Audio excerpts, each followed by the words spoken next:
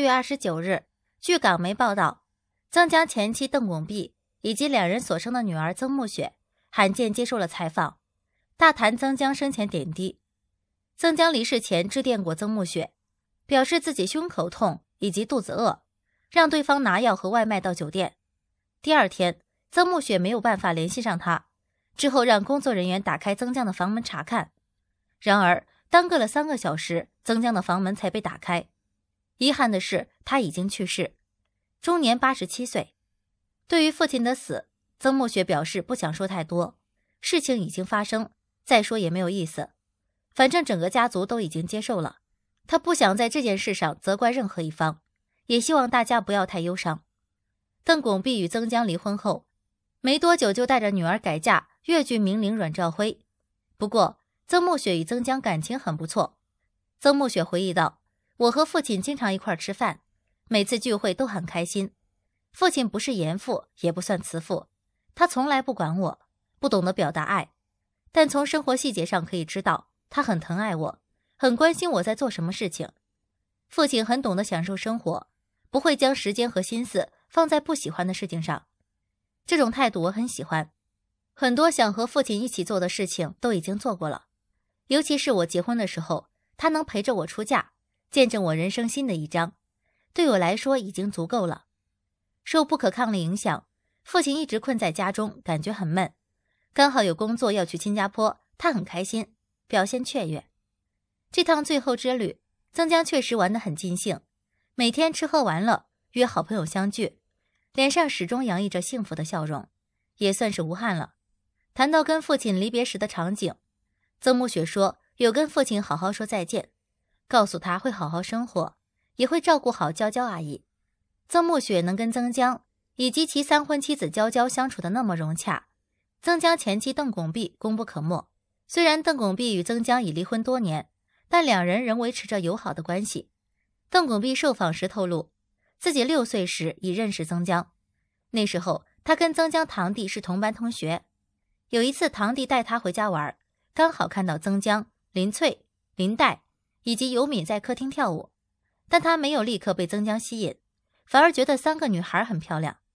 谈到前夫，邓拱璧忍不住大赞对方为人潇洒，一生精彩又丰富，不管是读书还是运动，成绩都骄人。晚年爱画画和阅读，绝对称得上是娱乐圈的传奇人物。得悉对方死讯那一刻，他一开始吓了一跳，直接跌坐在沙发上，难以置信。毕竟对方平时精力很充沛。最后，邓拱璧说道：“会跟现任丈夫尽力协助曾江的身后事。”四月二十九日，曾江突传死讯，遗孀娇娇在沉默了一天后，首度对外发声，表达第二度丧夫的心情。曾江日前出国旅游，回港隔离期间，突然感到胸口疼痛，于是打电话叫女儿送药和外卖到酒店。没想到，二十七日他被发现倒卧在房内昏迷不醒，救护人员赶到后。证实他已离世，终年八十七岁。曾江离开后，记者拨通了他的三婚妻子娇娇的电话，娇娇没有亲自接听，而是由身边人代为回应。对方说曾太太很忙，无法回应。沉淀了一天后，娇娇终于愿意受访。她坦言丧夫后自己的血压飙升，还吃了一些胃药。不过她承诺一定会挺过去，只是需要一点时间。人生的悲欢离合是常态。应该面对接受，听得出来，娇娇目前仍很伤心，但她没有丧志，相信她会尽快收拾好心情，为亡夫处理身后事。事实上，娇娇也是一名演员，她的名气虽然没有曾江大，但那些年也主演过很多影视剧。年轻时美丽动人的她，于六十年代加入娱乐圈发展，凭借着姣好的外形，她的演出邀约不断。期间，她认识了第一任丈夫。大他二十几岁的男演员黄宗迅，年纪差了一大截的两人却志趣相投，很快结为夫妻，并生下了一个儿子。没想到黄宗迅赴港拍戏期间不幸遇上车祸，为了照顾老公，娇娇随夫在港生活。一次偶尔的机会，她获大导演张彻赏识，与王宇搭档主演了武侠电影《独臂刀》。电影上映后，口碑票房双丰收，她从此走红影坛。事业得意的他，爱情却遭遇重大打击。黄宗训第二次发生车祸，这一次他再也醒不过来。丧夫后，娇娇独自抚养儿子，熬得很是辛苦，而她的内心也封闭起来，没办法接受其他男人。直到遇上曾江，彼时的曾江经历了两段失败的婚姻，但他对爱情仍有憧憬。认识娇娇后，他被对方深深吸引，继而展开猛烈的追求。最终，娇娇被曾江的诚意打动，两人于一九九四年携手走进婚姻，结婚二十八年，一直恩爱有加。曾江形容妻子是天使，是上天送给自己的礼物。没遇到对方之前，自己压根不懂爱情。当然了，夫妻俩一路走来不是一帆风顺的，背景南辕北辙的两人也有过争执。不过，曾江不会固执的坚持己见，而是会主动认错。他曾笑言。妻子永远是对的。遗憾的是，这个宠妻的男人已经离开人世了。在此，希望娇娇节哀顺变吧。继王宇之后，又一位老戏骨离世，令人心痛又唏嘘。但媒体报道和同行评价却给曾江贴上了傲慢、嚣张的标签。如百科页面列出来的演员牛奔评价称：“如果要在香港影视明星中给傲慢选一个代言人的话。”曾江一定会是不二人选。现实生活中的曾江颇有些自以为是、好为人师的性格，而知名媒体《南都娱乐周刊》的评价则为：曾江的控制欲很强，拍摄过程中连摄影师都会指点上。在荧幕中，他虽多以配角身份登场，但是他塑造的那些个嚣张霸气、傲慢无礼，甚至还带有桀骜怪异的形象，都已经如刻刀雕刻般记录在一代代影迷心中了。而在现实中，有几件众人亲历的事情也被广泛报道。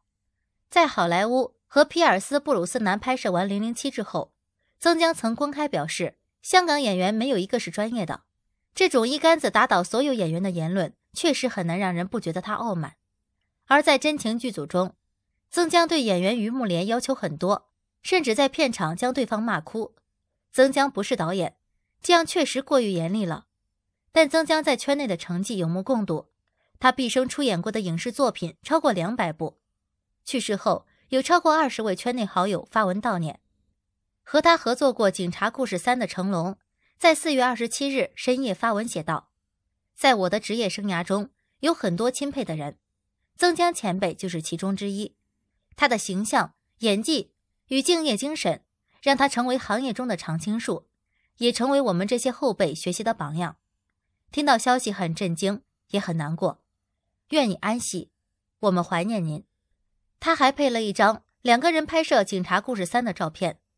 导演陈思诚转发相关报道，并写道：“再见，我心中的黄老邪；再见，唐人街教父。希望我们下世纪继续有缘重逢在光影与梦的世界。”任达华则写道：“刚刚收到消息，震惊、心痛。他是让我非常尊敬的长辈。”演艺圈里永远闪光的前辈，永远无比的敬重和怀念他。曾江老师一路走好。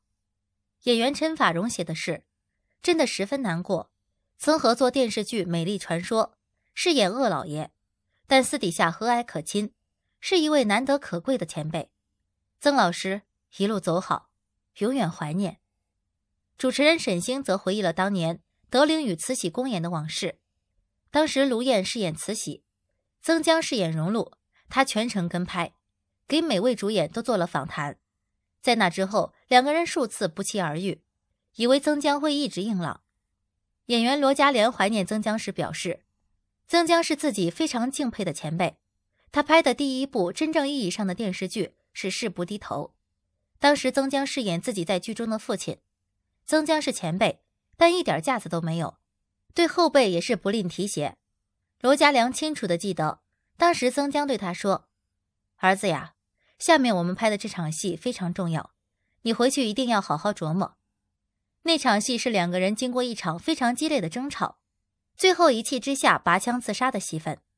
除了以上提到的圈内明星外，方中信、林保怡、黄安、赵文卓、曹可凡、叶璇、蒋梦婕，导演李立池。吴刚、马可、任贤齐、王心平、张丹露，导演武世贤、曾华倩，以及电影《边缘行者》的官方社交账号等，都发文悼念曾江，超过二十人。那为什么要列举以上几个呢？其实是为了证明一点：不同时代和曾江合作的演员、导演，甚至没有合作拍过戏的主持人，其实都对曾江有很高的评价。曾江并不是一个傲慢、架子大的演员，在片场愿意提携后辈、指导新人。当然，生平参演超过两百部作品，在拍摄期间和其他演员没有一点摩擦是不可能的，这才传出过一些争议吧。